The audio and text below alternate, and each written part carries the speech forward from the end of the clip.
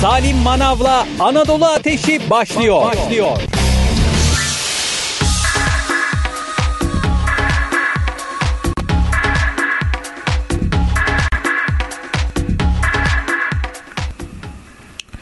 Mutlu günler sevgili Radyo Spor dinleyenleri Anadolu Ateşi başladı programımıza hoş geldiniz. 25 Ağustos 2023 tarihindeyiz. Cuma günündeyiz. Haftanın son programında birlikteyiz sevgili dinleyenler. Programımız bugün saat 13'e kadar sürecek. Bunu belirtelim.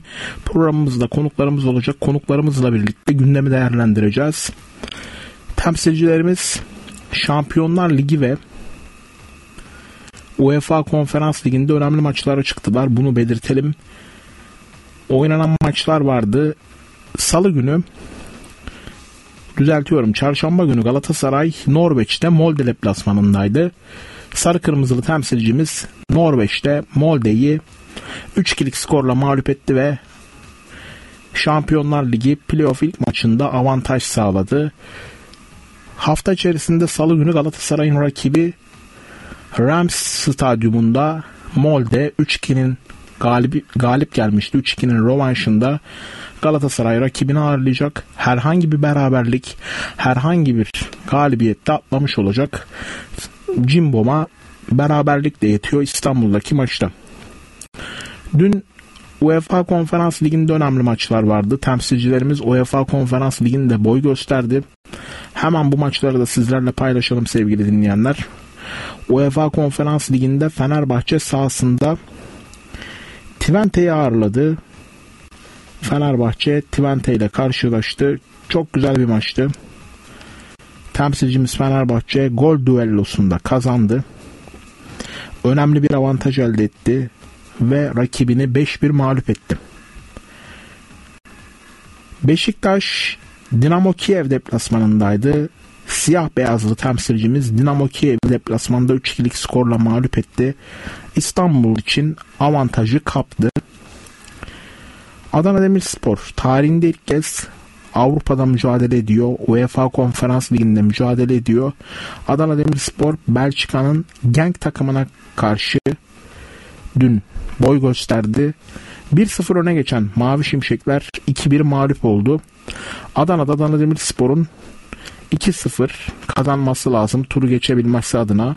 Çünkü bilindiği üzere geçtiğimiz yıllarda deplasmanda atılan gol avantajını kaldırmıştı FIFA. E, Böyle bir karar almıştı FIFA ve UEFA.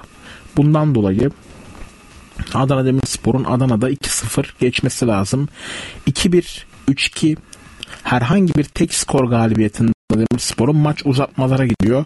Penaltı atışlarına sonrasında gidiyor. Bunu da belirtelim.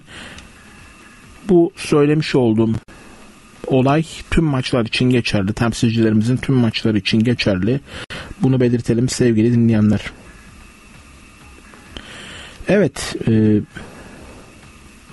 şimdi reklam arasına gideceğiz sevgili dinleyenler. Reklamların ardından programımız konuklarımızla devam edecek. Programımızda konuklarımız olacak. Konuklarımızla birlikte devam edecek. Bunu söyleyelim. Şimdi kısa bir ara aranın ardından biz buradayız. Salim Manav'la Anadolu Ateşi devam ediyor. Devam ediyor.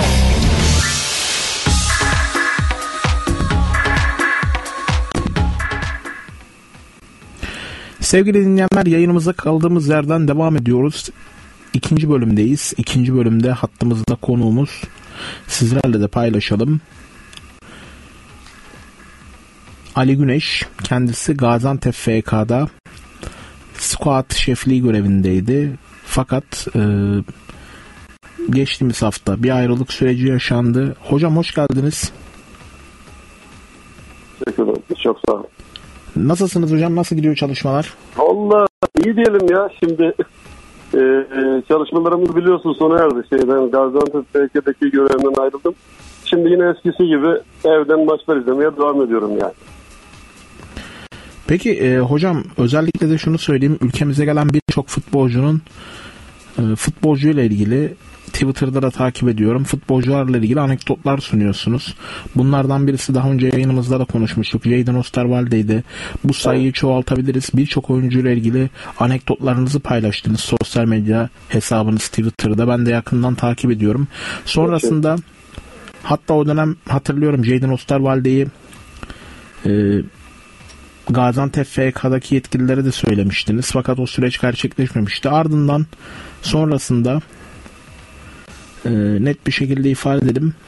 Sonrasında Gaziantep FK'ya bir süreç gerçekleşti. Squash şefi oldunuz. Evet. Aslında çok iyi de başladınız hocam. Hatırlıyorum Arjantin'e gittiniz.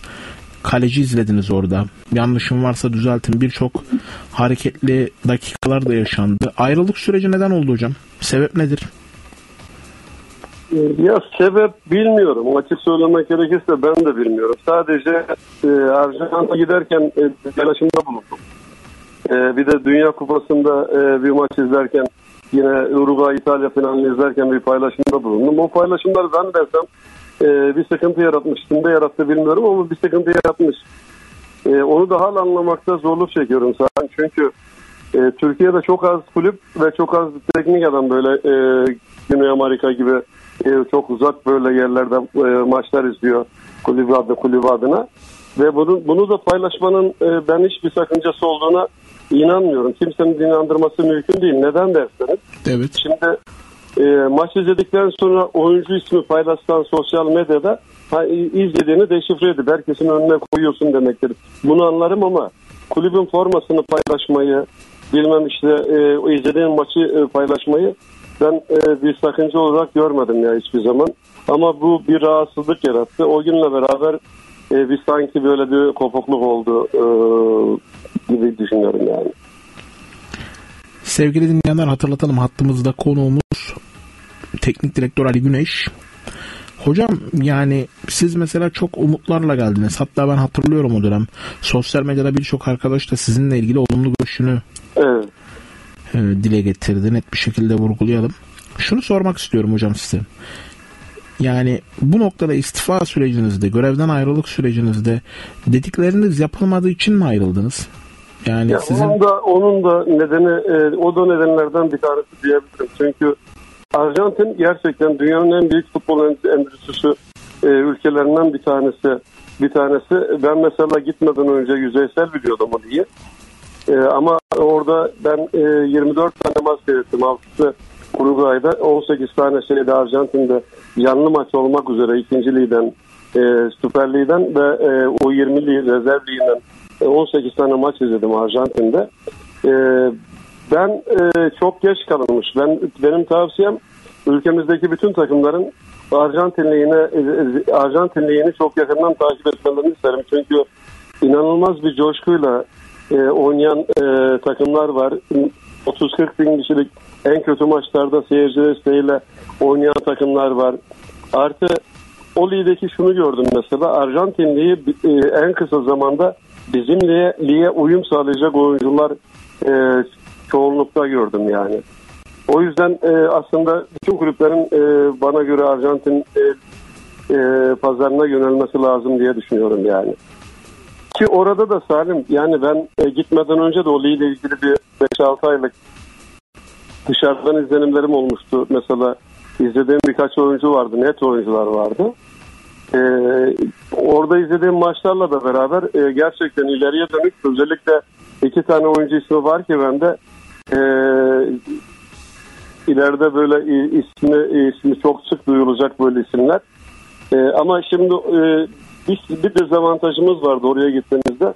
Orada lig devam ediyor Salim şu anda. Arjantin lig devam ettiği için devam eden ligden böyle transfer yapmak, oyuncu çıkarmak çok zor gözüküyor. Çünkü hiç kimse hazır oyuncusunu e, takımından bırakmak istemez. Ya çok büyük para teklif edeceksin ya da işte bu Ocak'ta bitiyor mesela ara transferde bitiyor orada bir. O ara, arayı bekleyip oradan oyuncular çıkarmayı düşüneceksin. Zaten hocam bizimle farklı mevsim ligindeler. Bu noktada da bizim ligimize geldiklerinde özellikle mesela devre arasında mesela geldiğinde maç oynayıp gelmiş oluyorlar. Evet. Devre arasında orada Ocak ayında lig yeni başladığı için mesela Norveç de farklı mevsim liginde. Norveç'te evet. evet. İki- Norveç'te de bunu görüyoruz. yani. Mesela Galatasaray Molde maçında dikkat ettiyseniz hocam ilk 20 dakikada 25 dakikada çok etkili bir futbol ortaya koydular. Evet. Bunun da sebebi ligde 19. haftaya oynuyorlar hocam. Evet evet o da o da onlar için ayrı bir avantaj tabii bir devam ettiği için yani. Norveçliyi dedin Norveçliyi de ayrı bir pazar şey e, Salim ama hala bizim kulüplerimiz özellikle e, o ligden de çok yeterince yararlandığını düşünüyorum ben. Ben geçtiğimiz senelerde mesela orada o ligi de çok yakın takip ediyordum. E, bazı sana söyledim mi bilmiyorum. Mesela Adekurve bu Hatay Spor'a gelen Adekurve'yi ben e, Balerenga'da Valerenga'da oynuyordu hocam. Ballerenga'da oynarken bir futbolcu, e, eski bir futbolcu, menajer olan bir futbolcum benden desteği istedi. O zaman ona söylemiştim. O Hatay Spor'a getirdi. Şimdi de e, Amerikan Ligi'ne e, MLS'e gitti. Mesela 1 milyon euro para kazandırıp gitti Hatay Spor'a kulübüne para kazandırıp gitti Adekkur. Hocam ciddi bir pazar ve e, o oyuncuları o dönem alabiliyordunuz yani. Şu anda ama bence almak çok çok zor hocam. Bilmiyorum katılır mısınız ama Ya şimdi şöyle Salim orada mesela o zaman ben ben sadece şeye şahit olduğum için biliyorum Adekul bir transferini. 300 bin e, euroya mesela 6 ay şeyi var. Her kulüp Hatay Spor 6 ay bekleseydi e, lig bitiminde bedava alacaktı Adekul Bey'i ama e, onlar ara transferde almak istedikleri için şey onları onların lig bir 6 ayı vardı orada Adekul Bey'in. E, işte almak istediği için 300 bin euro bonservis verdiler. Hem yaralandılar, Galatasaray'a verdiler, para kazandılar mı bilmiyorum. E, şimdi de 1 milyon euro mesela e, MLS'e transfer olmuş mesela. Kulüp nereden baksan gene de 1 milyon euro e, gibi büyük, büyük ciddi bir para kazanmış oldu Hatayspor'un transfer.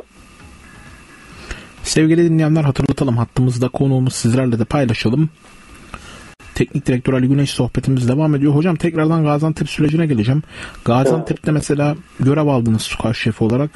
Özellikle de taraftar transferin geciktiğinden şikayet ediyor. Geciktiğini vurguluyor. Buna katılıyor musunuz? Ve bir de o dönem yapılan transferlerde zaten iki ya da üç transfer yapıldı diye biliyorum. Düzeltebilirsiniz hocam. Sizin hiç etkili olduğunuz transfer oldu mu? Ya benim şimdi e, özel şeye başlayınca mesela benim e, yani getirme yetkim şöyle ben izleyip tespit eder e, söylerim kulübe. Yani alınma, alınma, alınma tarafı baş, başkasındaydı. Ben öyle söyleyeyim yani sadece. Arjantin Ligi'nden de ben iki tane oyuncuyu kulübün gündemine getirdim. E, bir de Uruguay Ligi'nden vardı bir tane oyuncu. Üç tane oyuncu gündeme getirdim.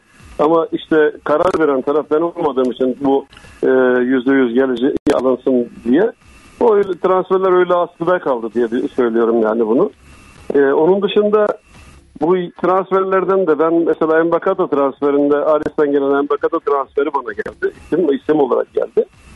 O oyuncuyu izleyip bir iki, iki maçına ba- izleyip e, e, karar verdikten sonra takımımıza katkı sağlar diye bunu Erdal Hoca'ya sonrasında başkanımıza söyledik.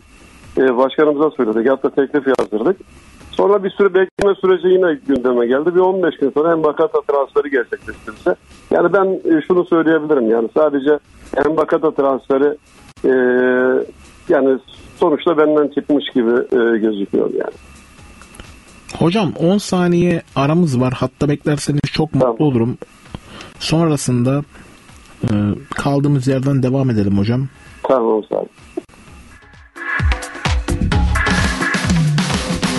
Salim Manav'la Anadolu Ateşi devam edecek. Reklam.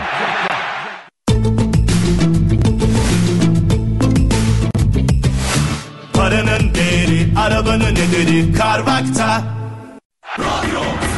Reklam. Salim Manav'la Anadolu Ateşi devam ediyor.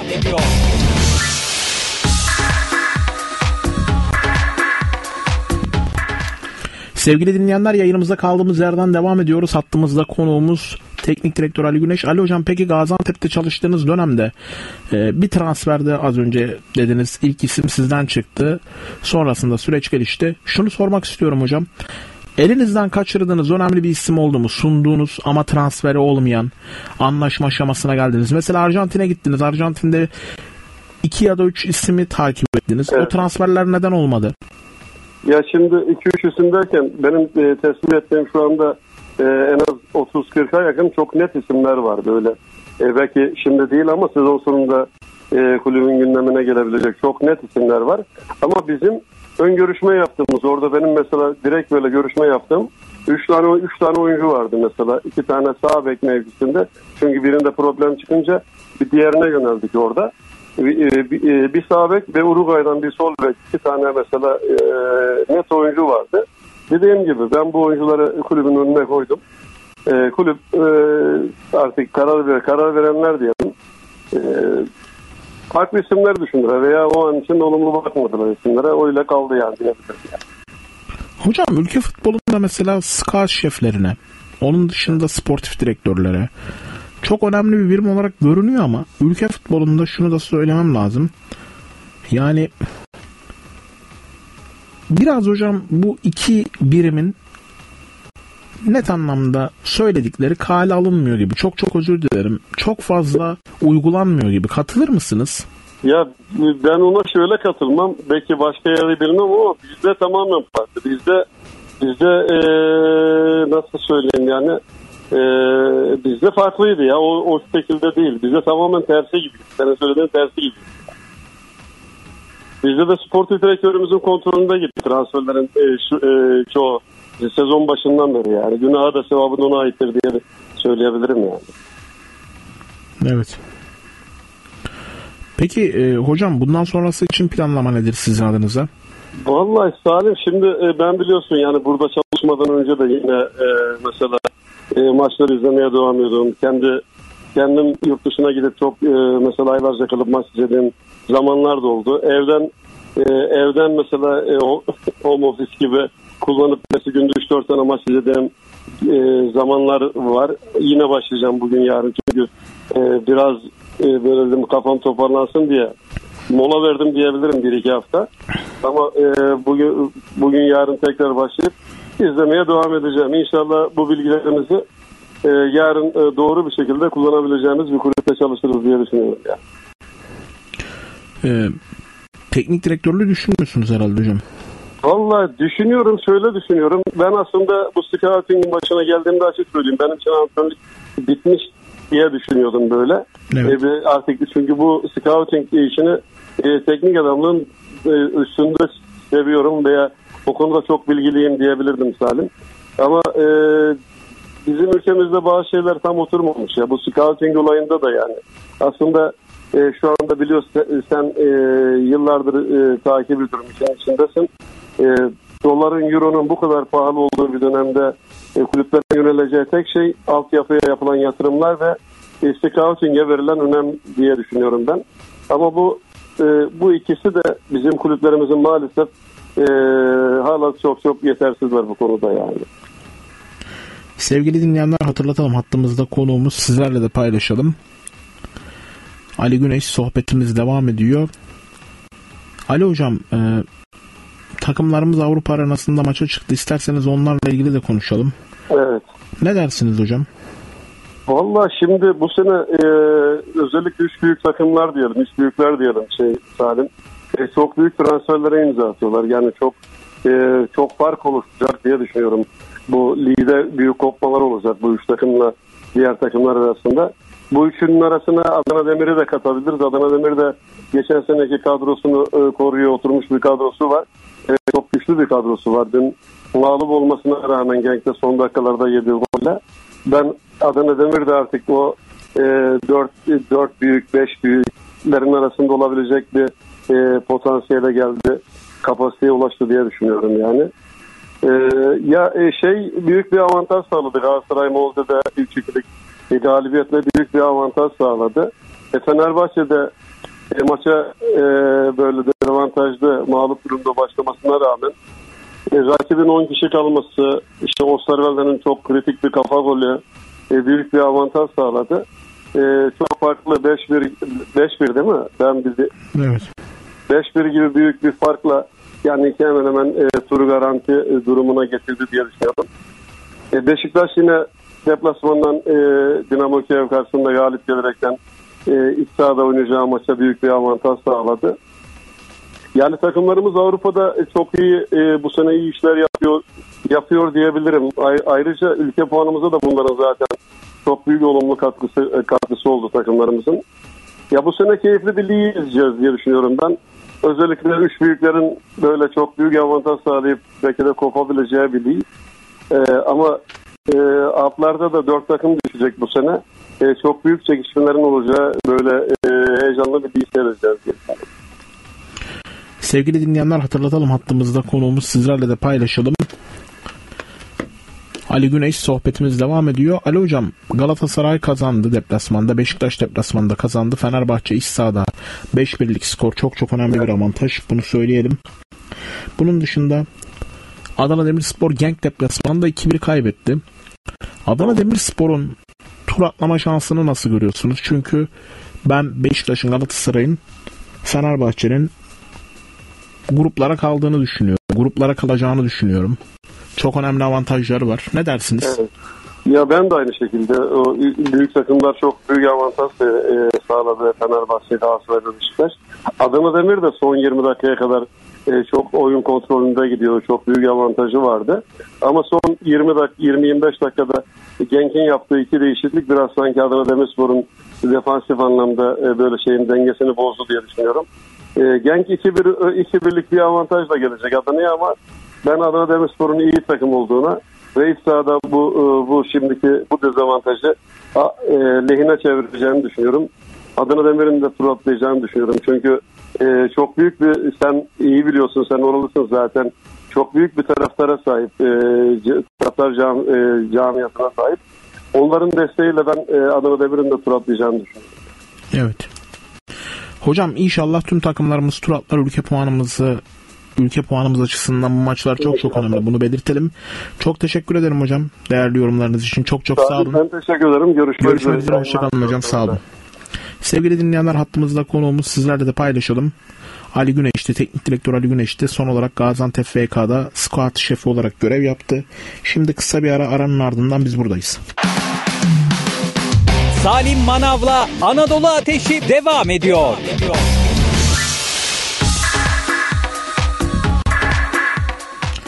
Sevgili dinleyenler yayınımıza kaldığımız yerden devam ediyoruz. Son bölümdeyiz. Son bölümde hattımızda konuğumuz teknik direktör Can Bağcı. Kendisi stüdyomuzda da konuğumuz olmuştu. Bunu söyleyelim. Kendisi e, şu anda hattımızda. Hocam hoş geldiniz. Merhaba nasılsınız? Hoş bulduk Salim sağ ol seni sormalı. Ben de iyiyim teşekkür ederim hocam çok çok sağ olun. Hocam e, bu bağlantı öncesinde dinleyenlerimizle de paylaşalım. Almanya Futbol Federasyonu'nda görev yapıyorsunuz. E, Oradaki görev nedir hocam? Onunla başlayalım isterseniz. Ee, şu an Almanya milli takımın e, sporcularını, milli oyuncularını değerlendiriyorum. Evet. Yaş kategorisi e, 18, 19, 21. E, şu an bu görevliyim. Hocam çok güzel yani Almanya'da mesela böyle bir imkan tanınıyor. Türkiye'de hocam herhangi bir teklif almadınız mı bu noktada? Ya, tabii ki ben şimdi Türkiye'de e,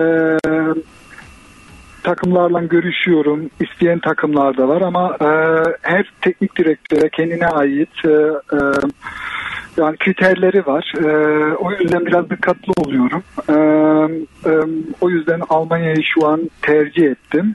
Ama tabii ki e, Türkiye'de oradaki görevleri de biraz takip ediyorum. E, bana uygun bir şey olduğunda tabii ki Türkiye'de benim için e, büyük bir seçenek. Ee, hocam özellikle de çok konuşulmuştu. Sormak istiyorum. Siz hem Almanya'da hem de Türkiye'de aktif birisiniz. Sık sık Türkiye'ye geliyorsunuz. Daha önce dinleyenlerimizle de paylaşalım. Kasımpaşa'da görev aldınız. Fenerbahçe'de Christoph Daum'un ekibinde görev aldınız. Ee, dinleyenlerimiz hatırlayacaktır. İstanbul Spor'da görev aldınız. Ee, önemli kulüplerde çalıştınız. Hem teknik direktör olarak hem de yardımcı antrenör olarak. Bir dönem hocam şey gündemdeydi. Yıldıray Baştürk'ün Almanya sorumlusu olması gündemdeydi Türk milli takım açısından. Bununla ilgili var mı bir gelişme hocam? Ve, Ee, ve bir de hocam bu şeyde mesela bakış açısı nasıl e, gurbetçi oyuncuların Türkiye'ye milli takım açısından? Şimdi e, biz Alman Federasyonu'nda kesinlikle e, kimliğe, pasaporta bak- isimine bakmaya çalışıyoruz. Olması E, tabii ki şimdi Evet, tabii ki şimdi e, bizim bizim çocuklar e, e, yetenekli olduğu zaman e, seçme mecburiyetinde kalıyorlar. Yani e, kendi ülkesini mi e, seçecek veyahut e, Alman milli takımını mı seçecek. Tabii ki onlar için de zor bir karar. Aileler de e, çocuklara orada e, biraz yardımcı oluyor. Biraz da baskı da yapıyorlar. Ama ee, tabii ki şimdi biz e, bunu o kadarını da düşünemiyoruz. Düşünmek de istemiyoruz. Biz e, seçimimizi veya değerlendirmemizi e, tek sportif konuda anlamda e, seçiyoruz oyuncularımızı. E, o yüzden e, burada e, tabii ki e, Alman milli takımda oynamak için e, fırsat bulduğumuz oyuncular e, Almanya milli takımı seçiyorlar. Hatta burada da iyi karşılanıyorlar. Yani hocam özellikle de bu noktada e, çok çok önemli örnekler var Almanya milli takımını seçip e, daha sonra dünya dünya futbol piyasasında adından söz ettiren Mesut Özil, İlkay Gündoğan aklıma gelen iki direkt isim bunlar. Salih Özcan milli takımımızı seçti. E, hocam tekrardan dönelim. Salih Özcan hocam ismi Galatasaray'la anılıyor. Borussia Dortmund'da oynuyor.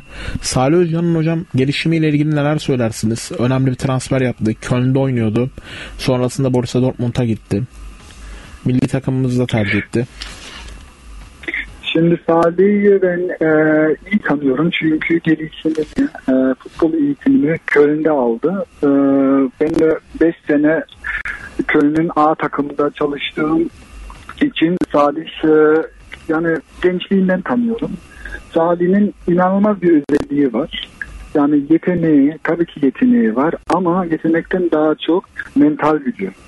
Ee, Salih e, her zaman her yaş kategorisinde inanılmaz bir e, takım oyuncusuydu. Yani bütün gücü yani e, takıma, e, bütün gücünü kendi eğitimine odaklanarak kendini inanılmaz geliştirdi.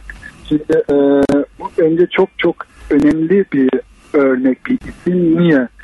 Türkiye'de bir yeteneği değerlendirdiğimiz zaman daha çok e, e, tekniksel, taktiksel yeteneğine bakıyoruz. Ama mental gücünü e, biraz e, arkaya geriye atıyoruz. E, oradaki hep böyle oluyor. Bizim çocuklar biraz geç, e, geç e, olgunlaşıyor. O yüzden e, onlara biraz daha çok göz yumuyoruz. Sadece baktığın zaman tam tersi. Yani en ufak yaş grubundan beri e, inanılmaz hırslıydı, inanılmaz mücadeleciydi. Hatta bu eğitimini de A takımda da durdurmadı. Sadece A takıma geldiğinde ilk önce ikinci lige kiralanmıştı. E, Holstein Kiel. Orada eğitimini devam etti. Oranın önemli oyuncusu oldu. Köln'e daha bitmiş bir oyuncu olarak döndü. Burada da hemen forma şansı bulmadı ama vazgeçmedi. Klopp'un orada inanılmaz önemli bir sözü var Jürgen Klopp'un. Ee, bir oyuncu e, ilk tepkide devamını getirirse başarılı bir oyuncu olacak. Onu da Salih yaptı. Köln'de de e, önemli oyuncu olmaya başladı. Forma şansı bulmaya başladı. Lider oyuncu oldu. Oradan sonra da yani e, Dortmund'da da e, tercih edildi, transfer edildi. Orada da e, e, Avrupa seviyesinde Şampiyonlar Ligi'nde, e, Bundesliga'da e, bayağı bir maç sayısı var. Peki hocam sizce Türkiye'ye döner mi? Siz az önce şunu söylediniz. Ben Salih'i e, çocukluk döneminden beri, gençlik ilk o piyasaya çıktığı dönemden beri tanıyorum dediniz. Türkiye'ye döner mi hocam? Ne dersiniz? Yakın zamanda konuşmanız oldu mu Salih'le sizin? Bu konuyu Salih'le ben konuşmadım ama e, ben bunu biliyorum. Şimdi e, bu tek Salih için geçerli değil.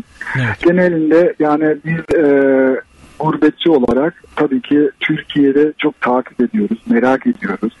E, eskiden kalma bu e, tarafların e, futbol sevgisi, e, bu e, liglerdeki atmosfer, bu e, Türkiye'de yani her ilde futbolu taraftar yaşıyor, seviyor. Ve bu tabii ki çekici bir şey. E, şimdi Salih'e konusuna geldiğimizde şimdi Galatasaray sıradan bir kulüp değil. E, Şampiyonlar Ligi oynuyor. E, inanılmaz bir kala- e, taraftar kitlesi var. Bence e, Salih e, Türkiye'yi ciddi düşünüyor. Tabii ki e, her konuda olduğu gibi seçenekleri de biraz bağlı. Yani şu an sadece e, tek e, Galatasaray istediğini düşünmüyorum. Yani Dortmund'da da bir önemli bir konu e, da şu an bulunuyor. E, başka takımlar da var. Yani onları biraz değerlendirir diye düşünüyorum. Ama e, genelinde e, bizim gibi yani e, Türk vatandaşı Almanya'da yaşayan her zaman Türkiye'nin bir çekici e, taraftarı var. Hocam birkaç sorum daha olacak. Salih ile ilgili verdiğiniz bilgiler için teşekkür ederim. Çok çok sağ olun hocam. Takımlarımızın Avrupa sınavları hakkında yorumlarınız nedir hocam? Dün maçlar oynandı. Tamamlandı maçlar. 3 galibiyet, 1 mağlubiyet elde ettik. Takımlarımızı nasıl gördünüz hocam? Buyurun. Şimdi e, Galatasaray'la başlayalım. E. Galatasaray e, hani böyle Molde'den e, bireysel oyuncuları karşılaştırdığın zaman Molde biraz e, dezavantajlı gibi gözüküyor ama yarım saati e, değerlendirdiğimizde Molde inanılmaz takım halinde bir, bir oyun sahaya verdi. Galatasaray orada bayağı bocaladı.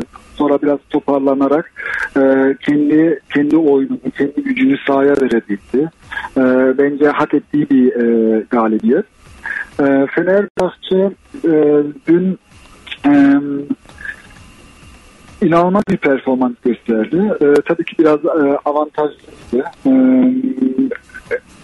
Trent'e yarım 30 dakika 30 dakikadan sonra kişi eksik kaldı ama e, bir kişi eksik kalma bazen de e, işi zorlaştırıyor ama e, onu iyi değerlendirdi. Bence çok hak ettiği iyi bir oyundan tek skor anlamda demiyorum. Oyunu, oyunla, kendi oyunundan da hak ettiği galibiyet. Ee, Beşiktaş e, e, bence çok büyük bir avantaj yakaladı. Şimdi kendi arenasında, Vodafone arenasında e, e, 3-2 yenerek e, bence e, o da turu atlayacak. Adana e, şimdi tabii ki e, baktığınızda e, 2-1 kaybederek biraz e, e, dezavantajlı gözüküyor ama Adana'da da, da e, rakip için maç oynamak kolay bir şey olmayacak. Yani e, şu an dört takım içinde çok olumlu gör, gör- bir, bir değerlendirmem var. Yani ülke ülke için de çok önemli. Çünkü biz e, geçen sene e, Avrupa'da bayağı e, puan toplayabildik. E, e, Sivas olsun, Başakşehir olsun. İyi maçlar oynadık, çıkardık. Bunun da devam getirmesi de önemli. Çünkü e, gelecekte yetenekli oyuncular için yani tek gurbetçilerden konuşmuyorum. Daha başka ülkelerden genç yetenek oyuncu için Türkiye biraz daha böyle e, Avrupa'da kendisini göstererek belki daha çekici olacak e, ülkemiz. E, o yüzden yani şu an çok olumlu görüyorum. E, güzel maçlar da oldu. Çünkü tek kazanmak da bazen yetmiyor. İyi oyundan da kazanmak gerekiyor. E, o yüzden yani e, bayağı pozitif. Peki e, hocam hemen şunu sormak istiyorum. Lig yarışı devam ediyor Süper Lig yarışı. İlk iki hafta tamamlandı. Fenerbahçe iki haftada 2 galibiyet 6 puan. Galatasaray iki haftada 4 puan çıkardı. Kayseri beraberliği ardından Trabzon'u mağlup etti. Beşiktaş keza aynı şekilde. Bunun dışında hemen e, şunu söyleyelim. Anadolu kulüpleri ön plana çıkıyor. Adana Demirspor. Ankara gücünü ben Adana Demir maçında çok beğendim oynadığı futbolla. Trabzonspor istediği gibi başlayamadı. Bazı takımlarda da transfer süreci devam ediyor. Bu noktada da çalışmalar devam ettiği için eksikleri var. Siz ne dersiniz hocam lig yarışı ile ilgili? Ligin sonuna kadar bu rekabet devam eder mi? Özellikle de Fenerbahçe Galatasaray arasındaki, Beşiktaş arasındaki. Ne dersiniz? Şimdi e, dışarıdan böyle gözüküyor. Tabii ki Galatasaray, Fenerbahçe, e, Beşiktaş, Adana'yı da sayıyorum. E, e, transfer güçleri veyahut yaptığı transferler onu onları biraz avantajlı gösteriyor Anadolu takımlara karşı. Şimdi Türkiye'de maalesef transfer konusu veya takımların transfer politikası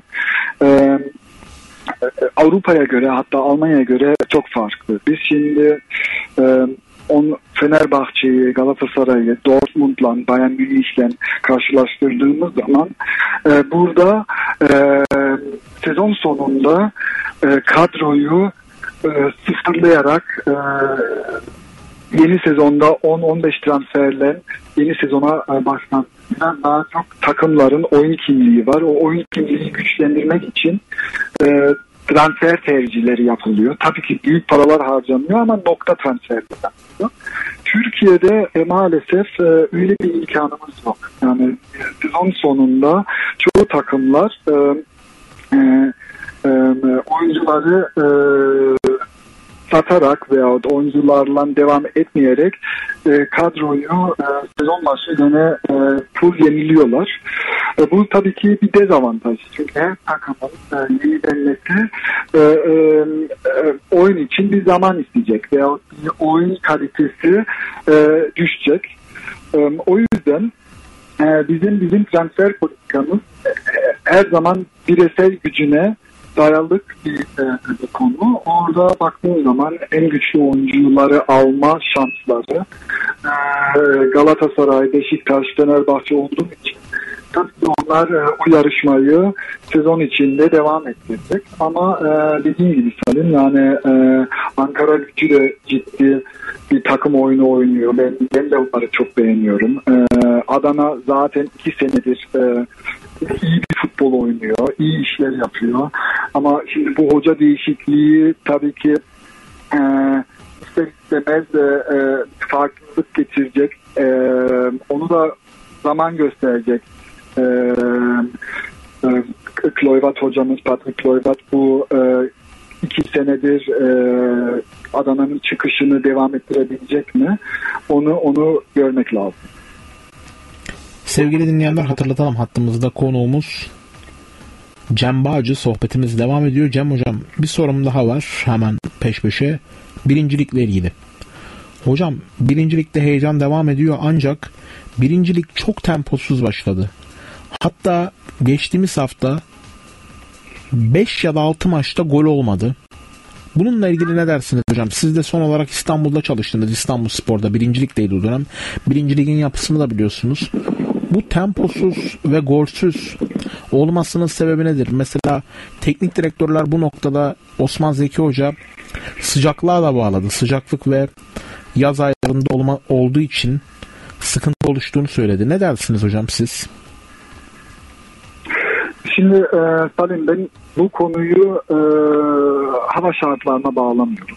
E, burada bence daha önemli konular var. Tabii ki hava bir etken yaratıyor ama e, bir sporcu, e, hazır bir sporcu e, o kadar etkilenmemesi lazım havadan. Yani ben daha çok dediğim gibi yani demin bahsettiğimiz transfer politikasına biraz bağlıyorum. Bütün takımlar e, e, şu an hemen hemen e, yeni bir takımla sahaya çıkıyorlar. Bu takımın da birbirine e, uyuşması, beraber oynaması, hatta tem, e, toplu oyununda e, oyunu toplan çabuklaştırması bu bir zaman istiyor. Bu bir e, kaynaşma istiyor. Bu bir birbirini tanıma istiyor. Böyle bir zaman yoktu şimdiye kadar. Hatta çoğu takımlar halen daha transferlere devam ediyor. Daha kadrosunu bulamadı. Bu bence çok büyük bir etken. İkinci etken e, şimdi biz Türkiye'de e, biraz daha çok e, skor indeksli e, futbol oynattırma mecburiyetindeyiz. Niye? E, şimdi TFF'nin birinci ligindeki e, takımlara sorsan yani bence 10 tane takım şampiyonluk hedefine yola çıkıyor. Hiç kimse yani kendi oyunumuzu geliştirerek iyi oynayarak, puan toplayarak şampiyon olmak istediği e, söz konusu değil. Kazanalım nasıl olursa olsun. Ha? E, o da tabii ki e, oyuncularda, antrenörlerde, bütün çalışanlarda bir kaygı yaratıyor. Ya. Şimdi e, biz e, bunu e, diyelim Almanya e, Bundesliga 2'den karşılaştırdığımız zaman Bundesliga 2'de geçen hafta e, 24 gol pardon 26 gol olan e, hafta sonu oynandı. E, TFF 1. Lig'de 8 gol atıldı. Ben bunu e, e, biraz dediğim gibi kaygıya da bağlıyorum. Kimse Yani travma- mesela şu mu hocam? Hemen söyleyeyim size. Yani net bir şekilde ifade edeyim. Yani şu olay şu mu? Teknik direktör değişimi çok olduğu için ülkemizde teknik direktörler maçları kaybetmemek adına böyle bir e, strateji mi öngörüyorlar? Sıcaklıktan ziyade, sıcak hava şartlarından ziyade. Yüzde yüz ona katılıyorum. Çünkü e, teknik direktörlere gerçekten yani e, tek e, skor indeksi e, e, e, değerlendiriliyorlar. Tabii ki skor her zaman önemlidir ama biraz gerçekçi olmak gerekiyor. Yani Evet. kötü oyunla maç kazandığım zaman ben bunu böyle görüyorum e, Salim. Biz bu oyunu biraz da taraftar için oynuyoruz. Yani taraftara karşı da e, bir sorumluluğumuz var. Sonuçta hocam görsel bir şov futbol. Yüzde yüz. O yüzden yani biz tabii ki e, e, bunu kimse yanlış anlamasın. Lay laylım oynayarak, e, e, savunmayı hiç düşüne, e, düşünmeyerek e, sahaya çıkma onu demiyorum. Ama biraz daha çok rakibi kendi oyunumuzla nasıl etkileyebiliriz, nasıl golü bulabiliriz, nasıl pozisyon yaratabiliriz onu onu daha çok düşünmemiz lazım. Ona da e, e, biraz zaman lazım, biraz da e, güven lazım. Ben bu güveni e, e, meslek e, arkadaşımlarla görüştüğüm zaman bu, bu, bunu bunu duyamıyorum. Biraz e, herkes e, günü kurtarmak için hatta maçı kazanmak için e, kendini garantiye almaya çalışıyorlar. E, Avrupa'dan karşılaştırdığımız zaman oyunu değil ya e, oyunu Can Bağcı hocamız hattan düştü. Tekrardan bağlantı sağlarsak son cümlelerini alalım Batıkan hocamızın. Ardından devam edelim. Çünkü Almanya'da kendisi. Almanya'da olduğu için hattan düştü. Kendisine ulaşalım. Sevgili dinleyenler hatırlatalım. Hattımızda konuğumuz Cem Bağcı'ydı. Sohbetimiz devam ediyor. Tekrardan hattımızda olacak. Batıkan bağlantıyı sağlıyor. Yunus Akgün Leicester City'de Yunus'un transferi kiralık satın alma opsiyonuyla gerçekleşti. Hayırlı uğurlu olsun diyelim. Önemli bir futbolcu. Özellikle de Adana Demirspor'daki performansıyla göz doldurmuştu. Ben Leicester City'de aynı performansı ortaya koyacağını düşünüyorum. Yunus Akgün'ün sevgili dinleyenler. Evet, hattımızda konuğumuz Sizlerle de paylaşalım. Can Bağcı tekrardan bağlantı sağlandı. Hocam hoş geldiniz. Merhaba nasılsınız? hoş bulduk. Tekrardan. Sağ ol, sağ ol, sağ olun. Tekrardan hoş geldiniz hocam. Sağ ol. İyi yayınlar. Hocam son cümlelerinizi alabilir miyim? Ne dersiniz? Tam toparlıyordunuz. Yayından evet. yayın düştü. evet. Buyurun hocam. Yani e, konu buydu. E, futbol bence e, taraftar için e, e, oynanan bir maç. Orada e, Türkiye'de biraz bakış açısı tek skor indeksli değil, biraz daha çok oyun kaliteli oyun, hızlı oyunla ilgili e, bunları bunları biraz daha düşünmemiz lazım. Daha e, takıma, antrenörlere, bütün çalışanlara e, e, bunu geliştirmek için biraz daha çok fırsat, zaman vermek gerekiyor. Çünkü bu zamanı vermediğimiz sürece e, değişkenlik fazla oluyor. Bu, bu değişkenliğin de zararı kalitesiz oyun. Evet. Peki e, hocam şunu da sormak istiyorum size. Son olarak e, az önce çok fazla net konuşmadınız ama Salih Hoca'nın transferi yine birçok soru geldi. Öngörünüz nedir? Olur mu? Ben bu kadar ne diyeyim? Şu, Bu kadar ne diyeyim? Ee, e, çünkü Galatasaray e, Salih'e 2-3 sene önce Türkiye'den teklifler de gelmişti. Daha Dortmund konusu yeni başlarken Salih'in e, Türkiye'den ilgili çok olumlu olduğunu biliyorum. Evet. Tabii ki şimdi Galatasaray e, Salih'lerin hangi derecede ilgileniyor, teklif getirdi. Çünkü bunun, burada da Kürtler arası da e, e, bir, bir, bir anlaşma e, e, yani söz konusu. Ama e, Salih, e, Salih'in şimdi tabii ki e, başka fırsatları bilmediğim için yani net bunu diyebilirim. Galatasaray Salih'i isterse ister de anlaşırsa Salih'in her zaman Türkiye ile ilgili olumlu düşündüğünü biliyorum. Ama burada tek bilmediğimiz bir şey var. Ee, burada e, hangi takımlar Salih'e daha teklif getirdiğini ön göremiyoruz, bilemiyoruz ama e, Galatasaray bence e, Salih'e alma konusundan e, yani e, yani fırsatı bayağı iyi görüyorum. Çünkü e, dediğim gibi Salih e, Türkiye'yi takip eden bir oyuncu, isteyen bir oyuncu. Bence kendi kariyerine Galatasaray'ı da katmak ister. Hocam e, çok teşekkür ederim değerli yorumlarınız için. Ben teşekkür ediyorum Salim. Görüşmek üzere hocam. Çok çok sağ olun. Hoşçakalın. Almanya'ya selamlar. Aleyküm selam Salim. Çok teşekkür ederim. Bay bay. Görüşmek üzere hocam. Sevgili dinleyenler hattımızda konuğumuz sizlerle de paylaşalım. Can Bağcı'ydı. Yayınımızın sonuna geliyoruz. Pazartesi günü saat 12'de görüşmek üzere. Hoşçakalın. Radyo Spor'da kalın. Salim Manav'la Anadolu Ateşi sona erdi. Radyo Spor